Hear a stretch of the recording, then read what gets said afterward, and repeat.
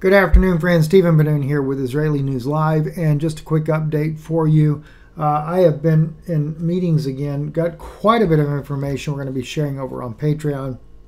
I think last week we uploaded four or five videos there.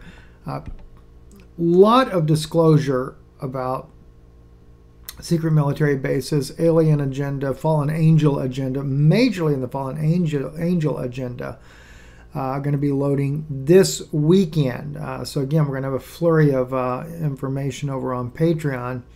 And uh, but but what I wanted to share with you right now, something you're not going to see in the news.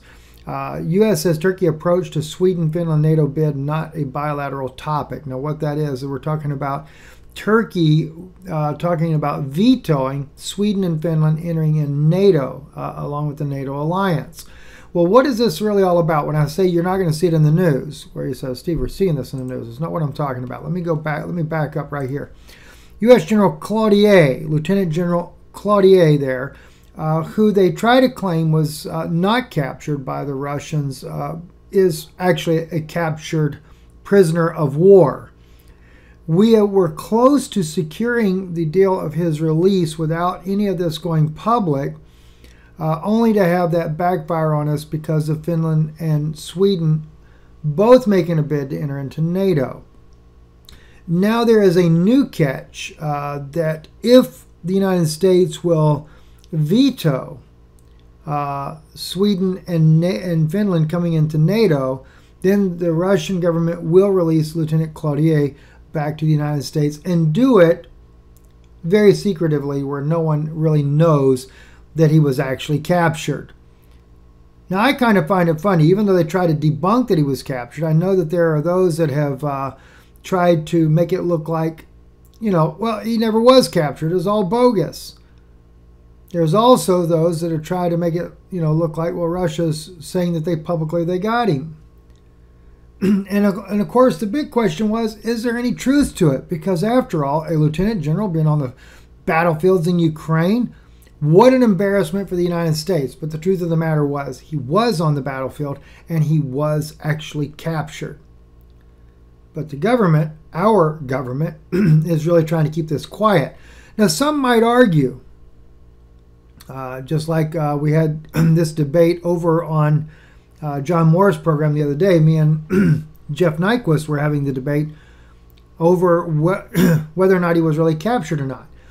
Uh, as Jeff, his argument was if the Russians had captured him, they'd be blasting it to the world. My argument was that they would not blast it to the world because Russia knows it gives them power of negotiation in a ceasefire with Ukraine, which Russia has been trying to get a ceasefire with Ukraine and create a buffer zone between Russia and that of uh, the West on their borders there. Ukraine is not willing to concede not even one speck of land, so therefore the war will wage on. And of course, with Finland and Sweden trying to enter into NATO, that threw a major wrench in the release of getting General Cloutier back to the United States.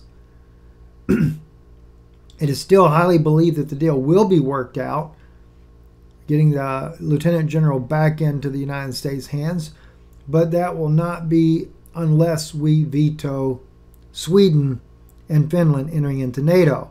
So I kind of find it interesting that uh, we're seeing the article here, Yahoo News and many other news agencies, they're talking about Turkey being the one that would actually veto it. Seems like to me the U.S. is doing some backpedaling there, some backdoor diplomacy in order to keep it from looking like the United States had anything to do with it. Pretty smart, I would have to say, for the United States to make such a move to save the embarrassment, get our general back, and not the world ever know anything ever happened. Interesting. I'm Steven Ben-Nun. You're watching Israeli News Live. And it also is interesting, too, because they did say that the general is working a command in Turkey. That's kind of odd, isn't it? After all, he was pointed to head over the European forces. Steven Ben-Nun with Israeli News Live. Stay tuned to Patreon going to learn some interesting thing about our super soldiers. Going to be speaking about that and that they were actually released and what countries they were released in. how some people have sighted Bigfoot, and it actually is a super soldier and not Bigfoot. Can't wait to share that with you guys over on Patreon. I'm Steven Boone. You're watching Israeli News Live. Blessings to you and have a great evening.